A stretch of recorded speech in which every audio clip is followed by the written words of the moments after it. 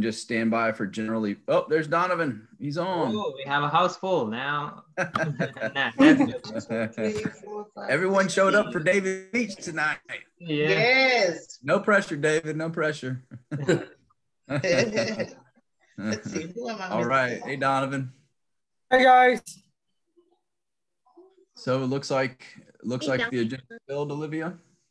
I think so. I'm not missing. Do we have a counter? Oh, yes, that's Cheyenne. Okay. I'm not missing anything on my end.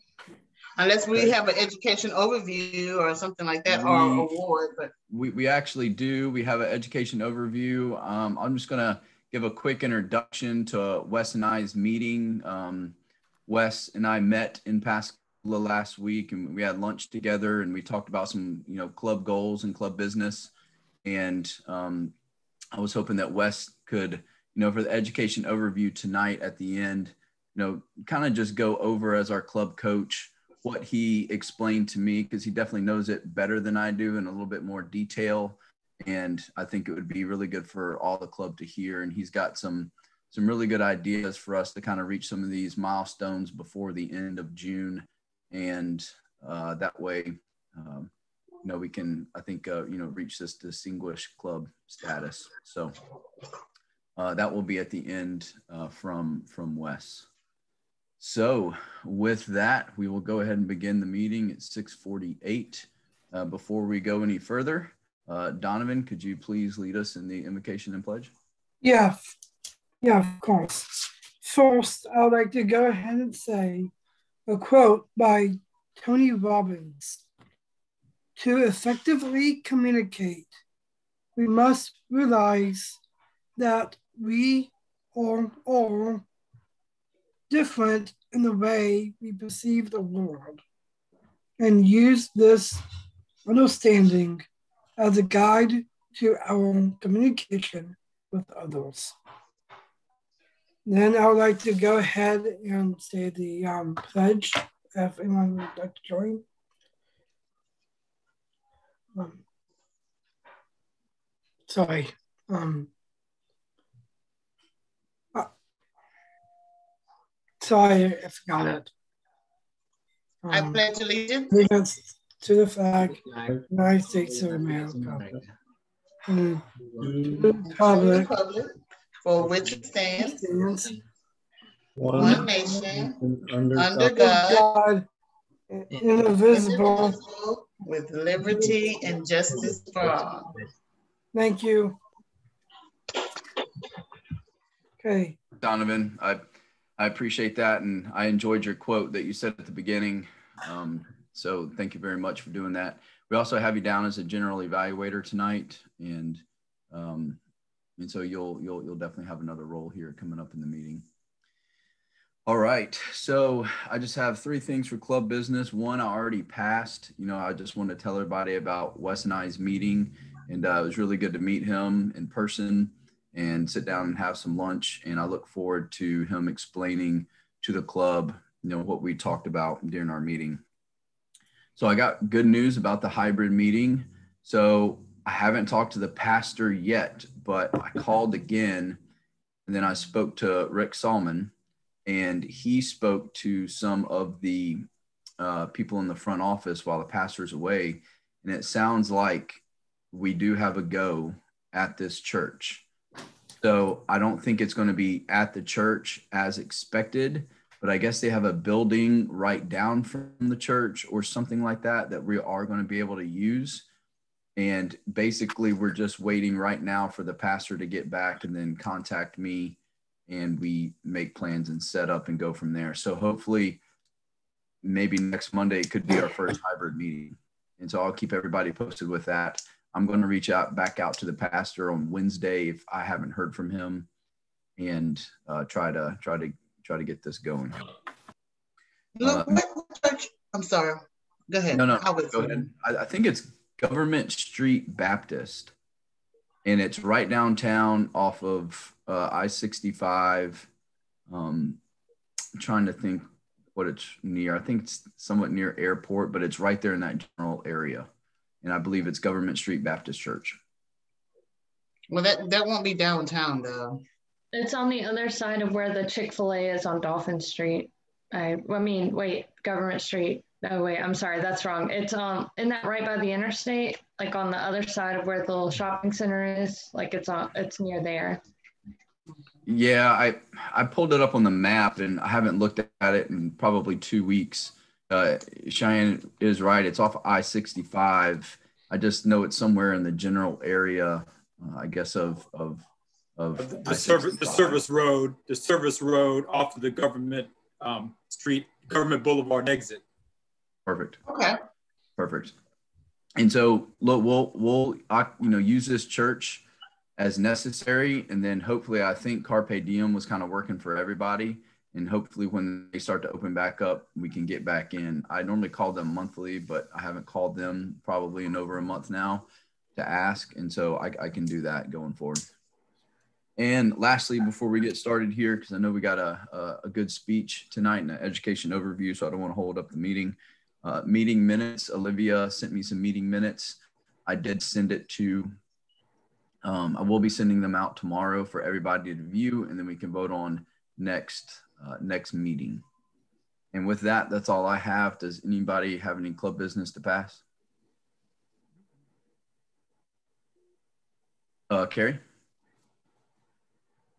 Not really uh, club business, but uh, um, I like to I like to have uh, two more weeks to prepare the pre uh, speech for me. So not next week, but uh, in two weeks from today.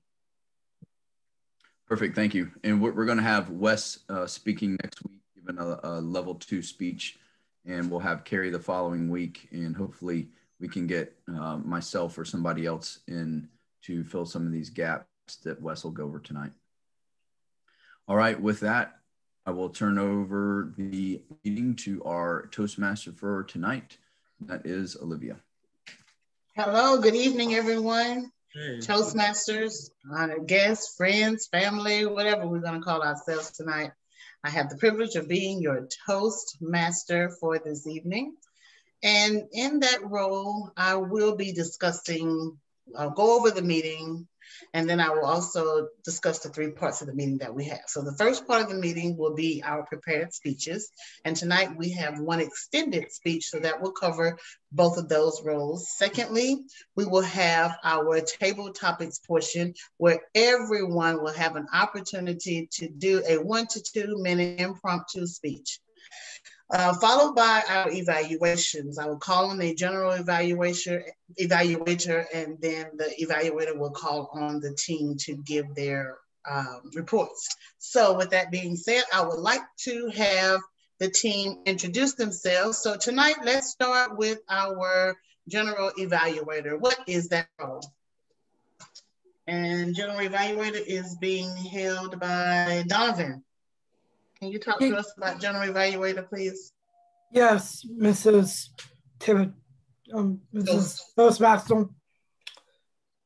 So my role as a general evaluator is to keep track of how the meeting went as a whole.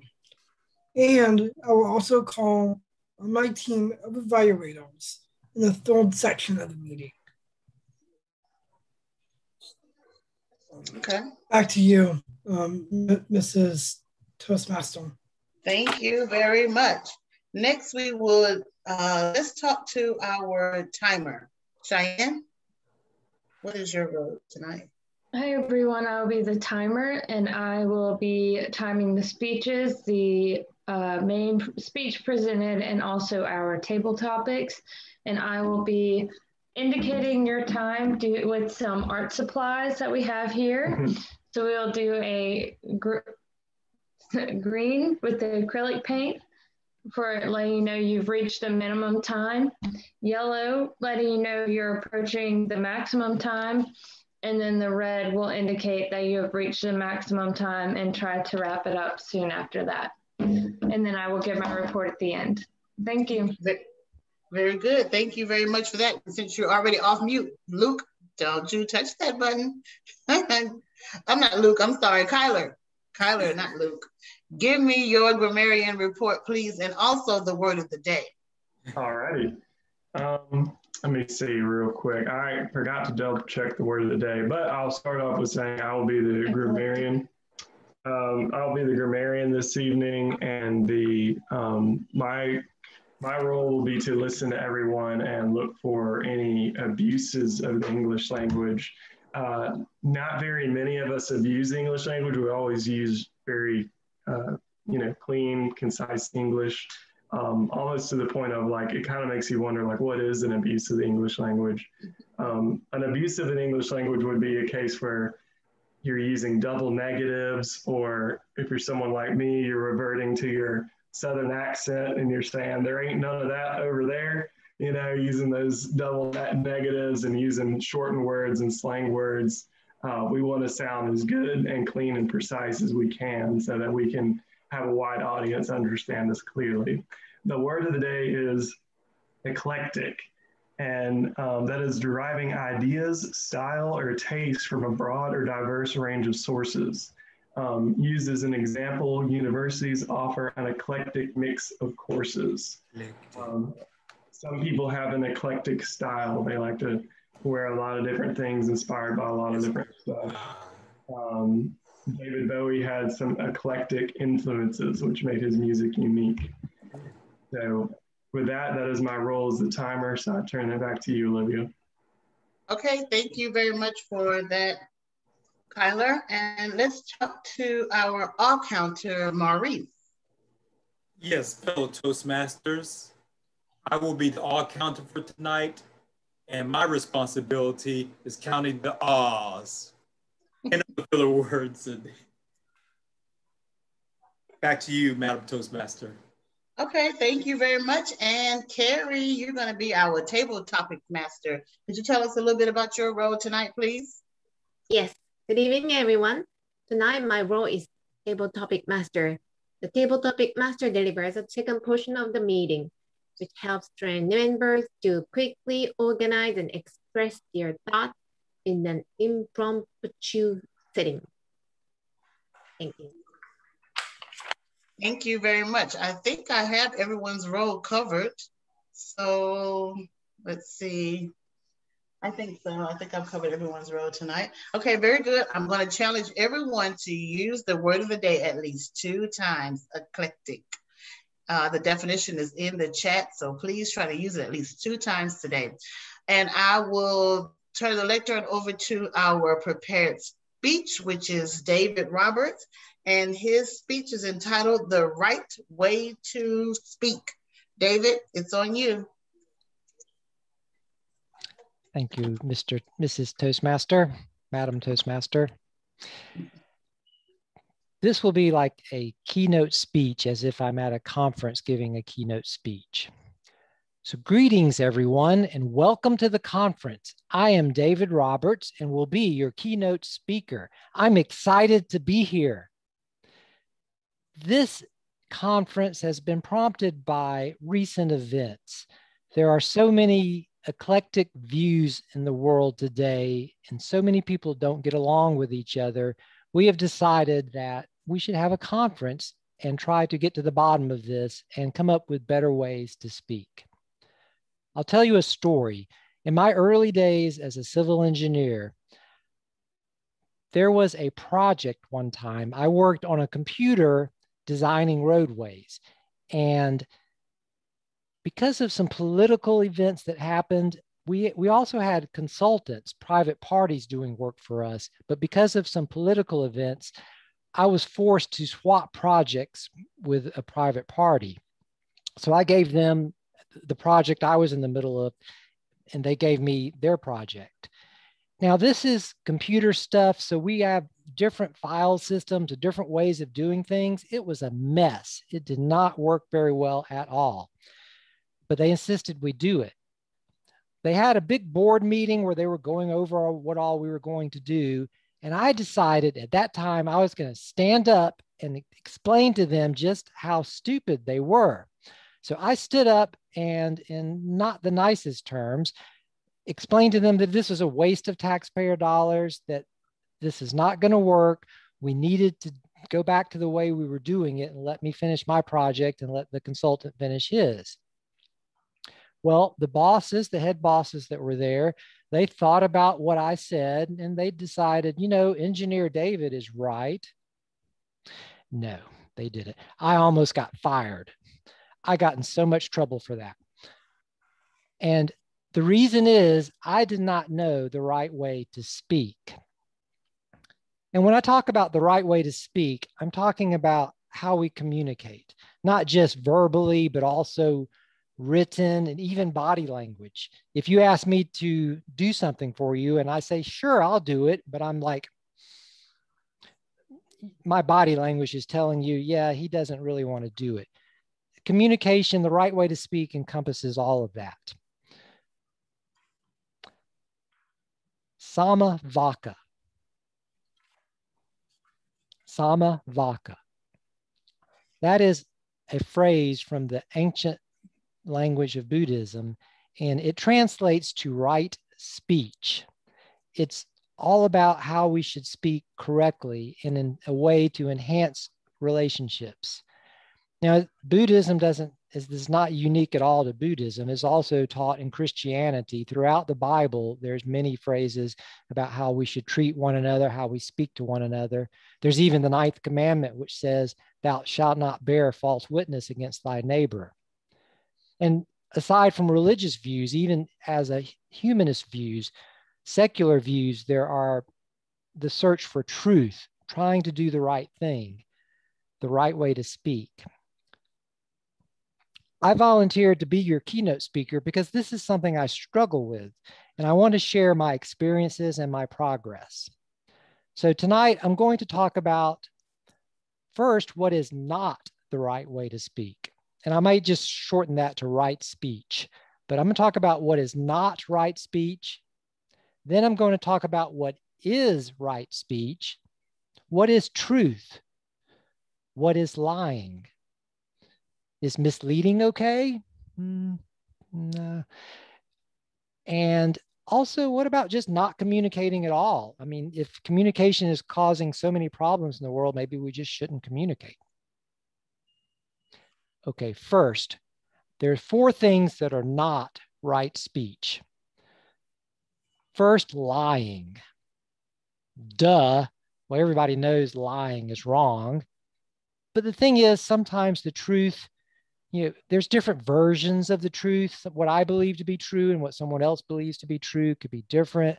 However, deliberately lying or slanting my views to try to gain favor in something, that is always wrong. It's wrong because it hurts other people and it hurts myself because eventually I grow to where I don't know what the truth is anymore. So, number one, what is not right speech is lying. Number two is divisive speech. That is speaking to cause controversy. And we've all seen these people, button pushers. It's like, I know how to get this person riled up. I'm going to push their button. You see it on the internet. They're called trollers. I'm going to, somebody post an inflammatory statement just to get a reaction. Divisive speech is wrong and it can be an addictive behavior. Now, this doesn't mean that I shouldn't speak on controversial subjects. To the contrary, I think it's important to speak on controversial subjects, but it needs to be done in the right way and with respect and with an intention to, to grow my knowledge. The third thing that is not right speech is harsh speech, uttering words designed to hurt and upset, punishing the other person. I'll give you an example back in my early days of driving. Sometimes I would be driving along, minding my own business, and someone just cuts me off. They just pull into my lane. I would communicate with them with my horn. And I would also, as Toastmasters taught me, I would use gestures, not, I, I would gesture at them and I would yell and scream. Not a single time was that effective. At no time did any of those people say, Oh, you're right. You know, you should blow your horn at me. I, have learned. And it, it didn't help them and it did not help me. It hurt both of us. Harsh speech accomplishes nothing. The fourth thing that is not right speech is meaningless speech. This one's a little tricky. It's fine to have small talk and kid around, that's all well and good.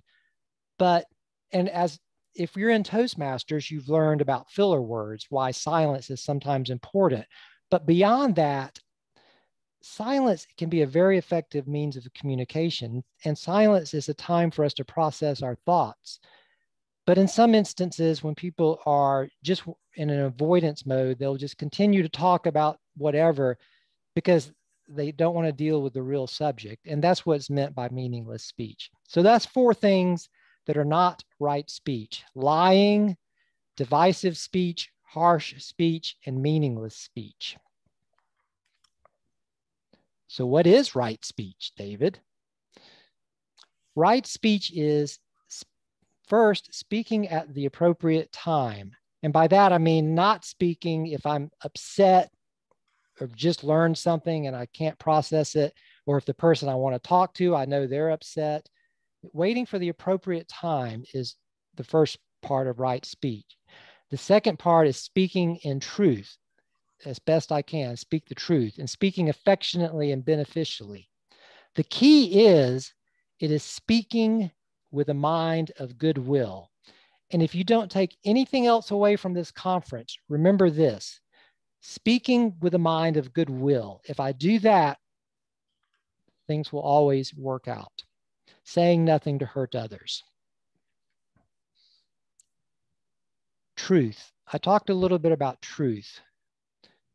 What is truth? The way I look at it for myself is this I'm a professional civil engineer. I am registered to practice engineering in the state of Alabama. I'm also 57 years old. I've been around the block. I've learned a lot of things. I know a lot. But let's take the sum knowledge of everything I, uh, I know and represent it by this gap. This is everything that David Roberts knows. There's this. Then there's the things that I don't know, but I'm aware that I don't know them. I know I don't know these things. Okay, it's huge, it's monstrous. But there's a third category. There are the things that I don't know that I don't even know I don't know.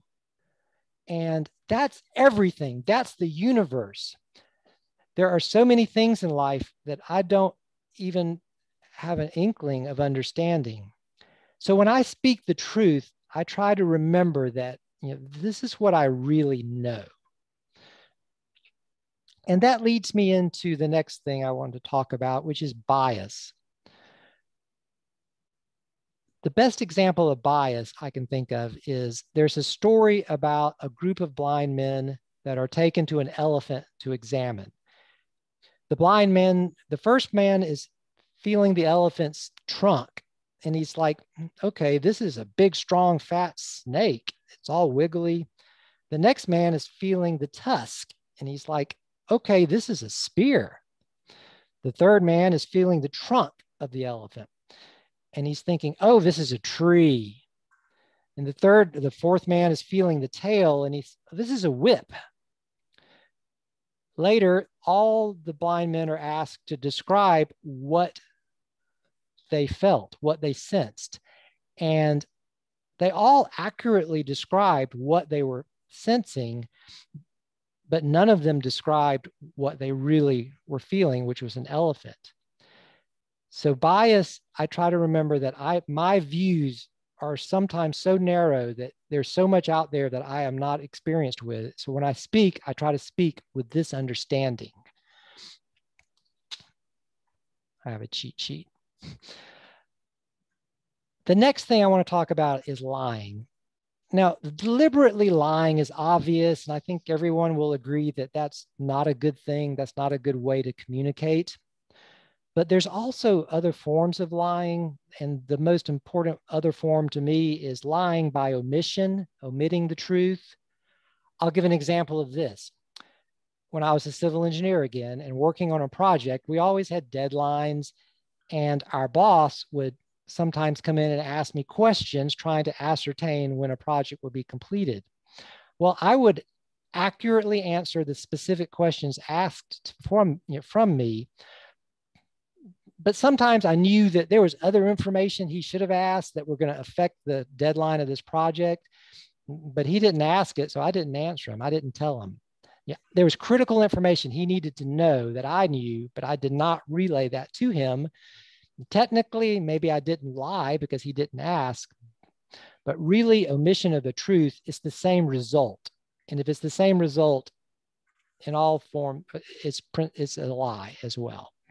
In this, from the viewpoint that I have. How about misleading? What if I just mislead somebody a little bit? That's not a lie, right? That's that's speaking the truth. I'll give you an example of this. This is a true story. Earlier in my career, there was a young engineer, I'll call him Randy, that may or may not be his real name. He lived with his mom, and these were Randy was a great guy, really good strong Christian loving guy. And so was his mom. And they took a vow that they would never tell a lie. Well, there was this girl that liked Randy. But Randy didn't really like her. So this is before the days of cell phones. They had a landline phone, but they had caller ID. So when the girl would call to speak to Randy, when they would see her number on the caller ID, Randy told me he would run out the front door onto the front steps. Then his mom, when she answered the phone, the girl would say, Can I speak to Randy? His mom said, I'm sorry, he stepped out. I took Randy, I sat him down. I said, Randy, you and your mom were lying. Even if it was technically the truth, it's the intention that's important here. And at first, Randy is like, no, we weren't. But then he thought about it and he's like, yeah, you're right. We were lying. Now, when I heard that story, and that is a true story, when I heard that story, I thought that is so, so silly. But then I got to thinking, how many times have I done that? Maybe a more sophisticated version of that. But how many times have I misled someone because I didn't really want to go somewhere or wanted to get out of doing something?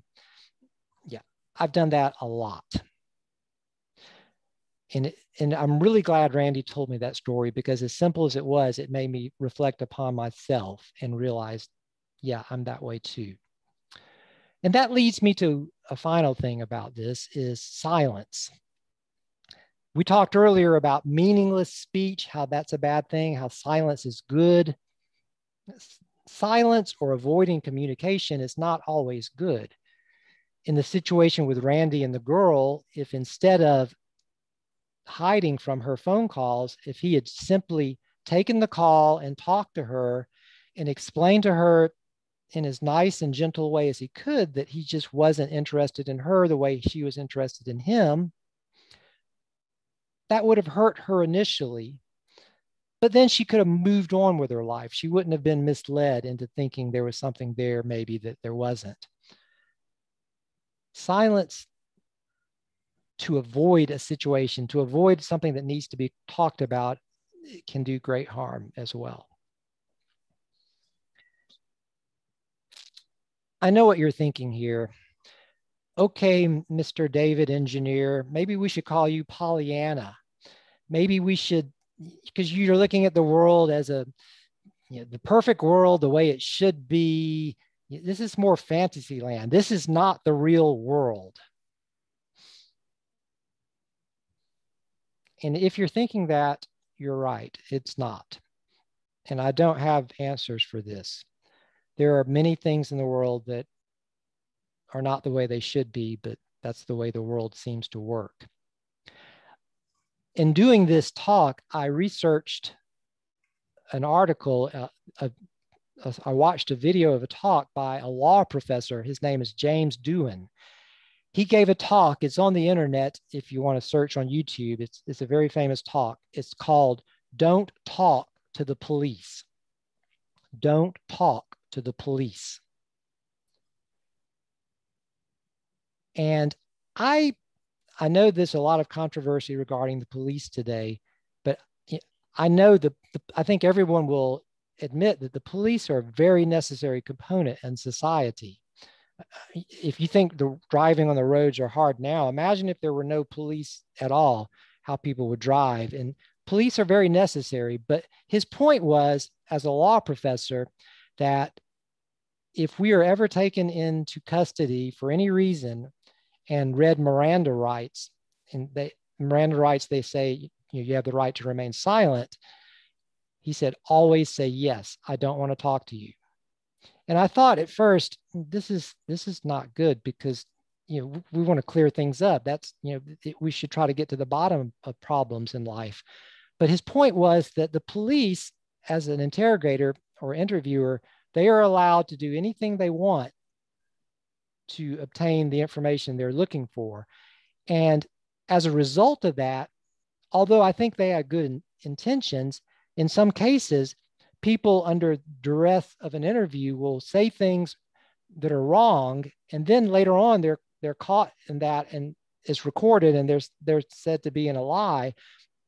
And there have been convictions of these things. And we've all seen on TV recently people that were exonerated from DNA evidence where it turned out that this person definitely did not do it. But then in the interview, he said he did, or he said something to that effect. The reason is when they ask him or her is I was I just didn't I, w- I just wanted to get out of the interview. I, I don't remember even what I was saying, but I was just I was so scared. And then this law professor brought up the Fifth Amendment, the right to remain silent. And that's what the Miranda rights are based on, the Fifth Amendment. Now, when I've heard about the Fifth Amendment, I always thought to myself, and I think a lot of people agree that that's just some silly amendment that was made so guilty people don't have to confess to their crimes.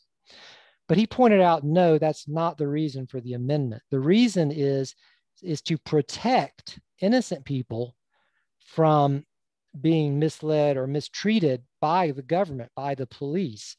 And the, Moran- the Fifth Amendment is actually a very powerful and good thing. But I don't like this. I don't like it at all. It's, it seems like it's wrong speech. And but I don't have an answer to that. It's but that's something that I did research. Another thing is obviously is advertisements. We've all seen advertisements all day long on the internet or TV.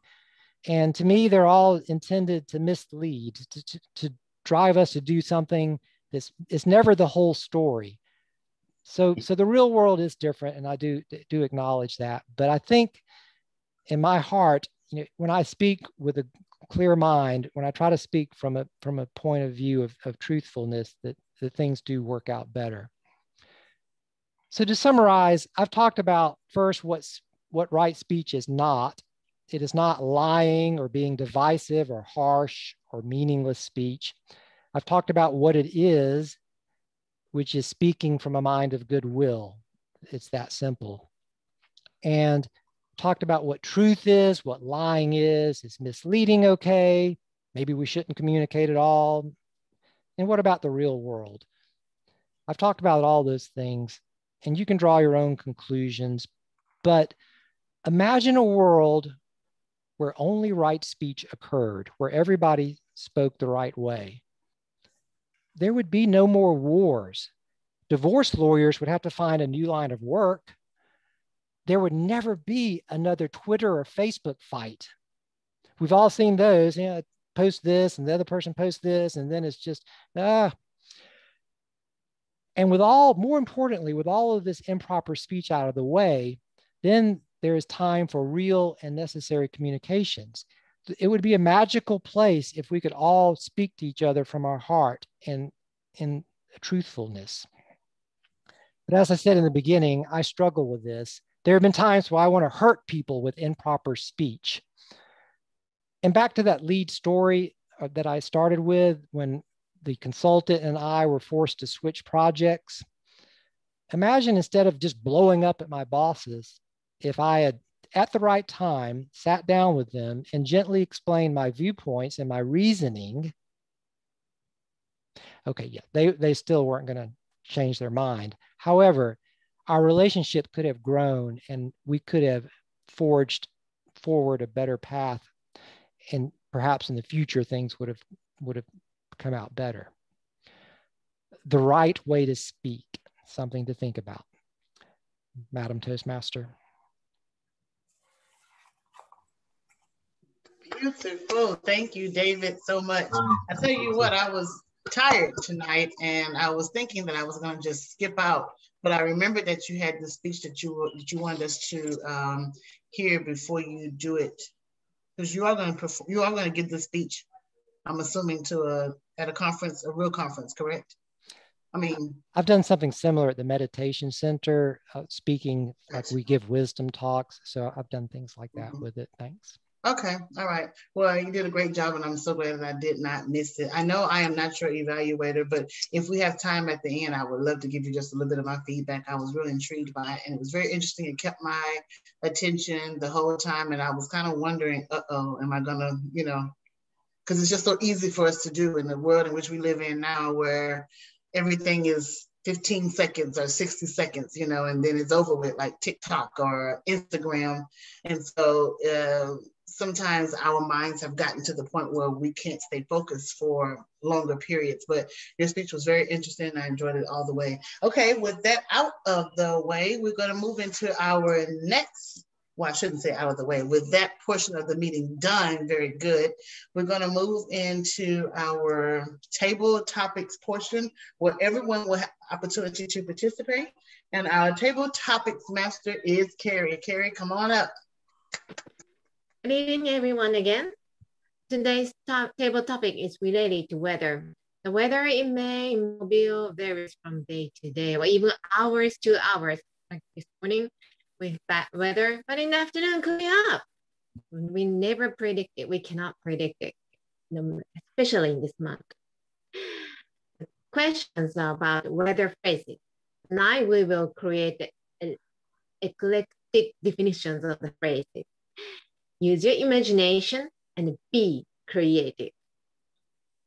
First, under the weather.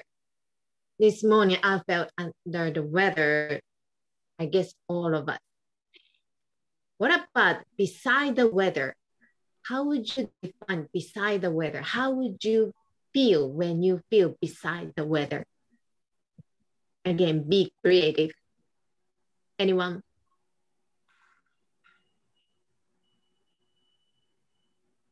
I'll take it. Okay, Olivia, please. I think the question is creatively explain what it means to be beside the weather. So my response to that, fellow Toastmasters, what does it mean to be beside the weather? I know sometimes I have been known to have an eclectic view, and I like the definition that was used tonight for eclectic view because it just means elements from various sources. So, but when I think about weather, of course, we have so many different types of weather. But when I think about being beside the weather, I think of the weather as being the wind almost beneath my wings, or maybe next to me, maybe the force that behinds me to keep me pushing.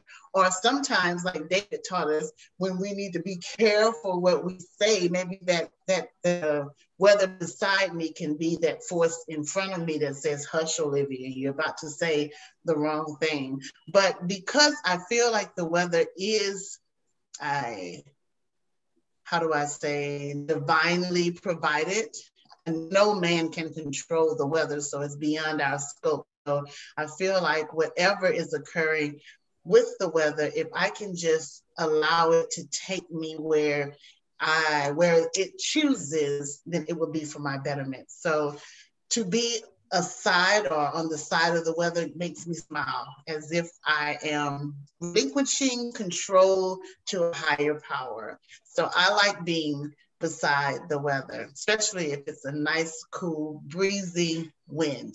Back to you, table topic master. Thank you, Olivia. That's a very creative. Yes. I never thought you would turn to more positive way, actually. Thank you so much. Next. We all, we should know this phrase. Raining cats and dogs. I'm, I'm pretty sure all of us know the definition. But what about the raining horses and deer? How would you define the phrase and what, what kind of summer, what, what kind of summer days would you say? I'm, I'm sorry, just uh, raining cats and dog and a horse and um, um, let me start over. I just confused. Okay, Rain, raining cats and dogs. What about the raining horses and deer? How would you define the phrase and describe it? Majid, please. Hey, hello, uh, friends. This is Majid. The question asked is, we have, we know rainy dog and cat. How about rainy horse and deer? So that's a, an eclectic uh, point of view of uh, gathering all thoughts. So I would relate it as being in urban environment, we just see cats and dogs and raining cat and dog is like we, see it right now in Mobile. It's, you see the seven days forecast for Mobile, rain, rain, rain, too much rain, too too much rain. So raining cat and dog. So we, we use it as right. So for us urban people, that that's all our wildest thought is. Oh, it's raining left and right, raining cat and dog. So I would say if a rural kind of scenario where the people have more horses and deers like on nature friendly environment like in a farm or in a forest so it would be raining horse and deer would describe the same scenario in a in a more rural kind of uh, area. It's it's a it's a eclectic view of how they say it like we say it raining cat and dog uh, raining raining cat and dog and they would say raining horse and deer still meaning like it's raining left and right. Um, but their visual is more horse and deer that's where they live with we live with this they live with that so they, they use their terms to describe the same thing back to you madam table topic master Thank you, Majid. I think it's kind of hard for you probably, or for even for me. A horse and dog, where's this idea from is horse and dogs, it's a we in Japanese, something not clear, something not beautiful, something little stupid. And that's a horse and dog we said. So that's why I, I like to know that what other people besides not the Japanese people would think about the horse and the deer. Thank you so much, Majid. Next question is dark dark days of summer. And this describes the mobile summer, I guess. But what about cat days of summer? What kind of summer days would you say? Cat days of summer. Anyone? Kyler, please. Hey, so when I, greetings fellow Toastmasters and honored guests. Growing up, I, I heard a lot of these phrases um, especially people saying like, man, it's the dog days of summer out there. Like you just, you don't even want to go out there. You just want to stay inside and find some air conditioning. Um, when I hear dog days of summer, like I'm thinking like it's humid, it's hot, you know, everybody's sweaty, smells bad. It's just absolutely miserable um, kind of think of like a like a like a wet dog almost. You know, it's like normally summer is a good thing, but then you know like dogs are a great thing. But then when you when you meet like a wet dog, you're just kind of like, uh, like just get away, like you know. Um, so when you say cat days of summer, I try to think of like, you know, what are the what makes me think of a cat? And cats are typically kind of like uh, unpredictable, kind of random. Uh, you never really know how they're going to feel about you or what they're going to do. So that makes me, especially in Mobile, that makes me think of days when you wake up in the morning, it's nice and cool, and then all of a sudden 10 o'clock hits and there's a massive thunderstorm. And then all of a sudden, at, by about two o'clock, it's a beautiful day again. And then four o'clock, it's cold. And then you know, five o'clock it's hot again. So I imagine the cat days of summer would be like that. You just you don't know what to expect out of them. Um, whereas feel like dog days are a little more consistent. So, so that would be my definition.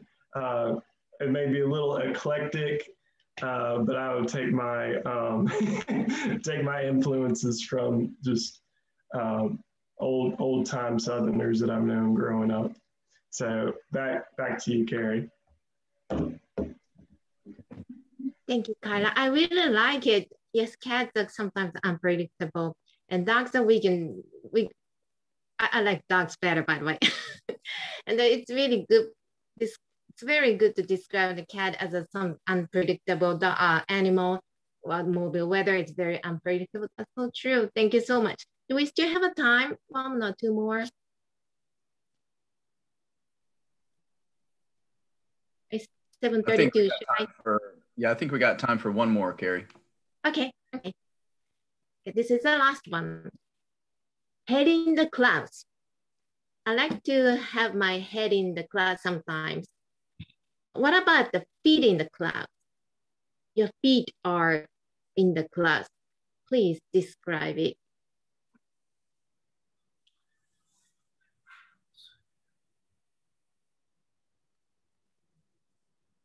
Okay, Donovan, please. Thank you, Carrie, and honored guests. The question I have given was, what does it mean to have your feet in the clouds? To me, it's sort of like a, those different eclectic views on how you would say it or how you would define it. So the way that I'll define it is that understanding that the feet is the opposite of the head. And to me, it's like, you know, sometimes you have those days that you have opposite days that it just doesn't feel like you're not yourself. You feel like more of another person. And sometimes that's good, sometimes it's not. To me, it's symbolic, but it's also a way of thinking outside of the box. By thinking outside of the box, it kind of helps you to be able to get the different views and prospects of different things. So my answer to this question is that it's the opposite. It's feet is the opposite of the head.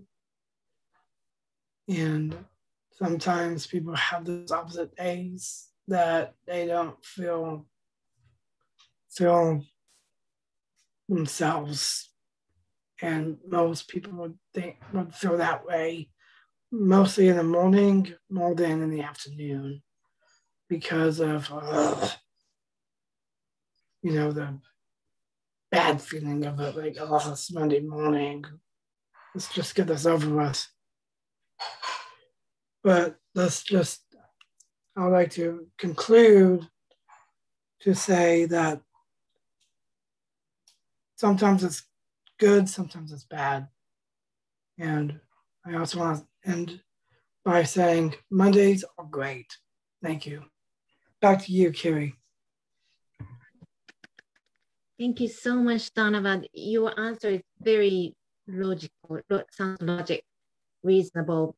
And I like that head feet is the opposite of head, absolutely. So it's outside, not inside. It's, it's really logical. I like that. And actually, I never thought my question turned such a philosophical. Thank you so much. Now back to uh, Toastmaster, Madame Toastmaster Olivia. Thank you, thank you, Carrie. We really, I really enjoyed those questions. As a matter of fact, I wanted to answer all of them, and I was like, "Put your hand down, Olivia. You already had your chance." But I liked all of those feet in the clouds. That almost made me feel like I was floating somewhere. And the horses and deer. I was thinking about being out west, maybe in the early 1900s, when you saw those animals just running around and I was thinking, wow, how heavy that would be if a horse was to rain on you. So I was thinking about heavy weather, maybe heavy rain or something. But anyway, I really enjoyed all those questions. We're not going to uh, take up any more time. So we're going to move on to our next portion is where we go into our evaluations. I would like to bring up our general evaluator and so they can call on the rest of the evaluations. So general evaluation evaluator is Donovan. If you would come on to the lectern. All right, thank you. First, I'd like to go ahead and say that the meaning um, went smoothly. We started at 6.50. We did have a three minute recess that I believe, think it might be a little bit more than that because I came on a little late. But overall, it was a great meeting. Now I'd like to go ahead and call on my evaluation team. First, I'd like to call on the first evaluator, which is Wes, I believe.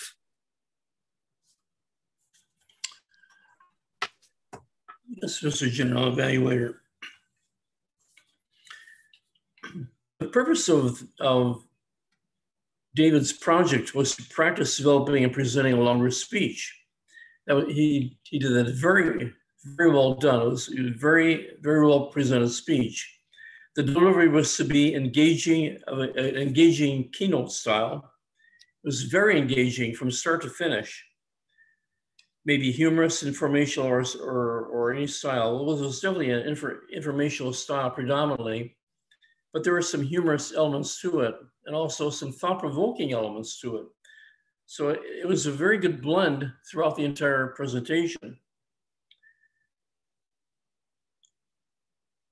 David demonstrated excellent presentation skills and compelling content.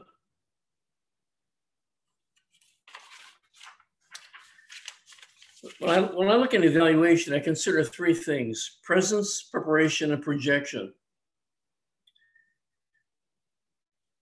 David had a really had a commanding presence in his presentation. He's very well prepared, and his projection was very well done.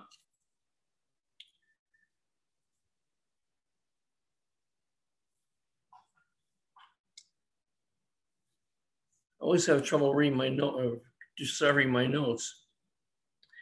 He presented us some interesting lessons learned throughout the throughout the presentation. He, the, the, the presentation and the lessons learned and the thought-provoking elements were cleverly intertwined, I thought. Is he gave us four ways, four ways of, of, of, four wrong ways of of giving a presentation: lying, divisive speech, harsh speech, and meaningless speech. I'm a docent at the World War II Museum. When our docent training, our trainers said there remember there there there are those who have something to say. There are those who have to say something. I think it's more important to have something to say as opposed to just saying something for the sake of saying something. Then he gave then david pointed out right ways of speech appropriate appropriate appropriateness truth, goodwill.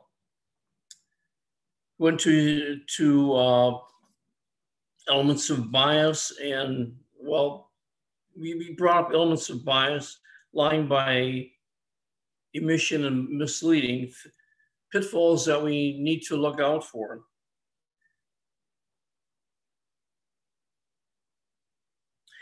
Uh, there, was, there was no there wasn't any res resolution, but then there, but there wasn't intended to be a resolution. There were there were elements that he presented that we can think about on our individually. I think I think the speech was was very well done. It was you had your your you were very clear in your in your in your speaking. You had very good vocal variety. Used the word of the day. Your diction was very well done. Excellent eye contact. Excellent eye contact. Very good, effective use of gestures. I checked the audience. The audience was very engaged and very aware of, of what you were presenting. You have a very good comfort level in your presentation. Admirable, admirably so. One thing I would suggest in terms of uh, in, in, ways to improve, or one thing that you might want to work on, is when you give a presentation, and when we, when we give presentations, we, in Zoom environments, we have a tendency to be relaxed, which is fine. But remember, not all our presentations are always going to be in the Zoom environment. So I would suggest that when you do give a presentation, even if it's a, in a Zoom environment, to give a jet to stand, to stand, give gestures, come forward for illustrate points, may come forward to make a point, or move to side to side if if possible. But in, in, in just stand to give your presentation as you would in a in a I would say normal speaking environment. But I thought the speech was very well done, and I thank you for it. Very informative and very well done. Thank you, David. Thank you, Wes.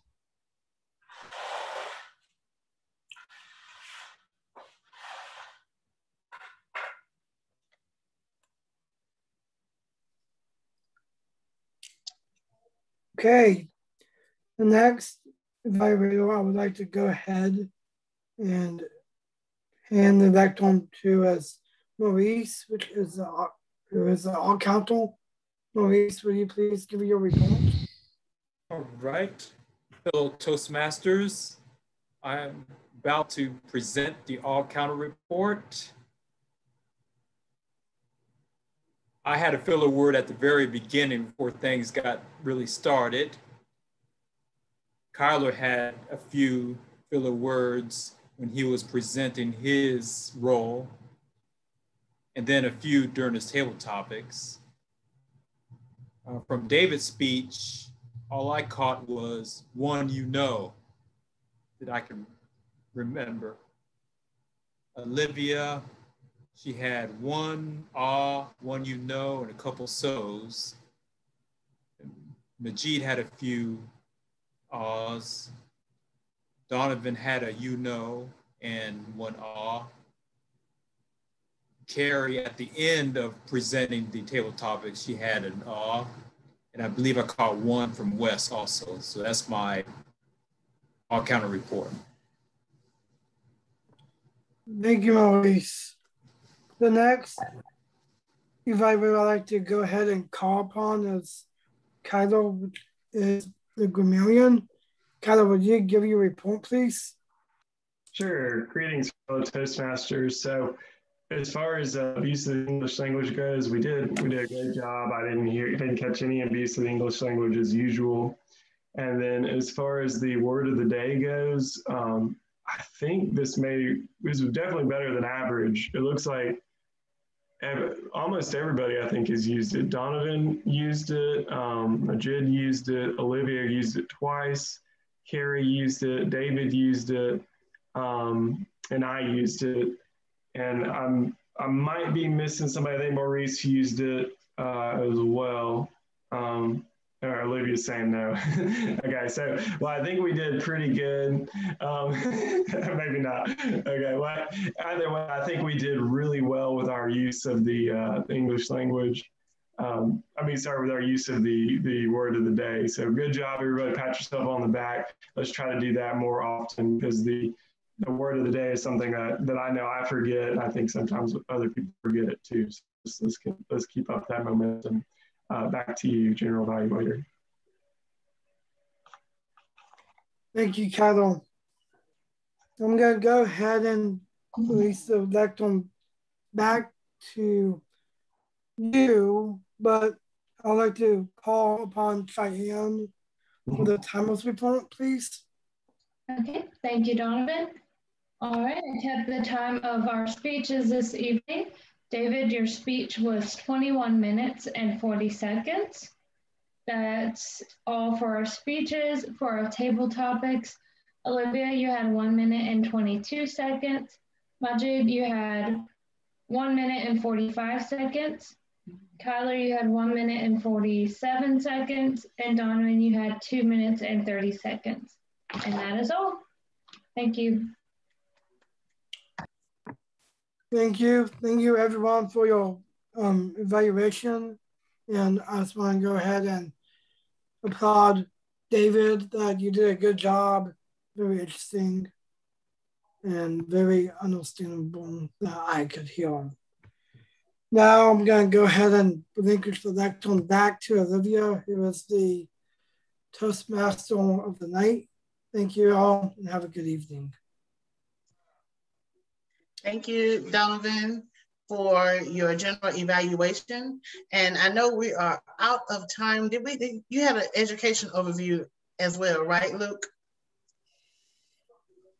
Um, yes, I want to be respectful okay. of everybody's time. And so I'm hoping uh, Wes, um, if uh, everybody's okay with it, like Wes, just to kind of brief us on uh, on his and I meeting, if if you guys are good with that. Probably take three to five minutes. Mm -hmm. Sure thing. Right. I, I what we went over was a copy of the dashboards, copy of the Hilltoppers dashboard element. And it's, I have to admit, it's still a little confusing to me. I, I tried, uh, but but to get it for it's just for distinguish, we need five goals to be met. Um, what I interpret, uh, I'm not 100% clear on this. This is, uh, I, tried to get uh, someone more knowledgeable to join us, and who's more familiar with this. He tried to explain it to me over the phone, phone today, but we had a bad connection. But from what I understand, we need four level level ones, three level two, two level threes, and about seven new members. But for one thing, I did contact Toastmasters International, and the speeches that I gave for for Gulf Breeze for my effective coaching, my goal was to have all my effective coaching presentations credited toward the co- the club that I'm coaching. Well, I was coaching Gulf Breeze, but that that club voted to disband. But when I spoke to the lady in education, she said that none of those speeches, I, I do have a level one verified, but none of those were were were recorded in Club Central, which means that I all these speeches, my the level one that I gave, from what I gather, which she from which she stated, the level one that I did, the level two, the level three that I completed, and the level twos that I'm working on can all be credited towards Hilltoppers. And I'll be sending David some information on that.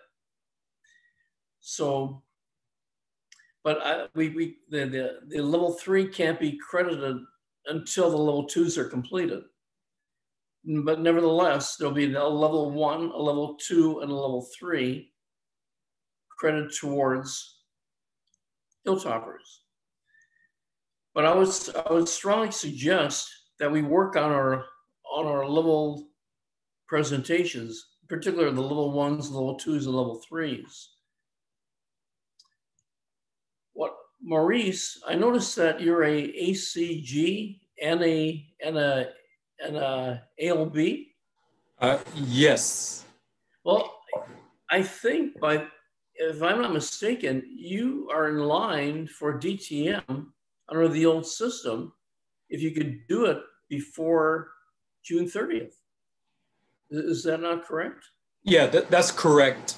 Yes, uh, I'm coaching, I'm a coach for Downtown Club, and they've already achieved distinguished status and we did send we did send the app the application for the for the ALS kind of early, but they're putting it on hold until the beginning of June. And as soon as I get awarded that, then I'll send another application for DTM and, and then get that done. Well, that's that's a feather in the cap for Hill for Hilltoppers as yes. well as for Reese. Yes. If it wasn't for COVID, my my my journey would have ended because I, I was one task short, which was the coaching. right.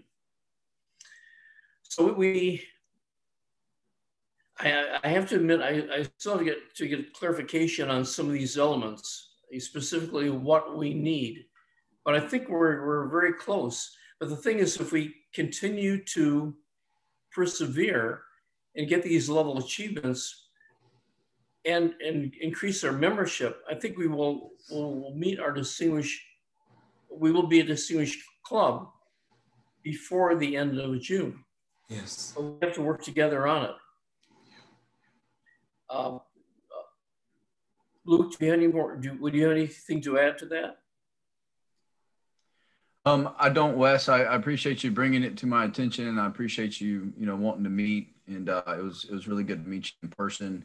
Um, I do know that this goal is achievable, uh, just like you say, Wes. If we if we work together, and I'm going to look at, um, I'm probably going to enlist the help of David to kind of see where people are in their pathways journey, see how many speeches people need to give, you know, including myself to kind of meet some goals and really look at that paper and maybe really line this out to where we can we can schedule some speeches out for everybody in the coming weeks and and you know finish strong and hopefully meet this goal. So i'll get with david this week and we'll we'll come up with uh, a, a little better plan and try to incorporate you know people you know speaking uh, every week. And so hopefully we can meet you know meet some of these goals. David are, are you familiar with the with this these club stats the dashboards are, are, are you familiar with this have you seen this before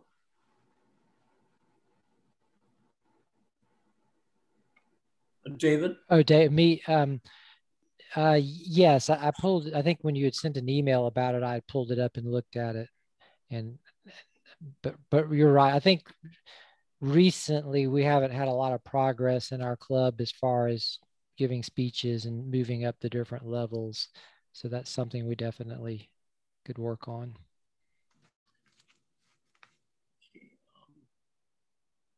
Well, Wes, I, I appreciate the presentation tonight. I want to be mindful of everybody's time at 754 and um, and I appreciate you giving that education overview. I think it really kind of gave you know a good overview about what we talked about and what we want to accomplish going forward before the end of June. Um, if if I don't give the speech, if I don't give my speech next week, it, it will definitely be the following week. Yes, no. Okay, perfect. Thanks, Wes. And I'll take about 45 seconds here just to close us out. So, David, great speech.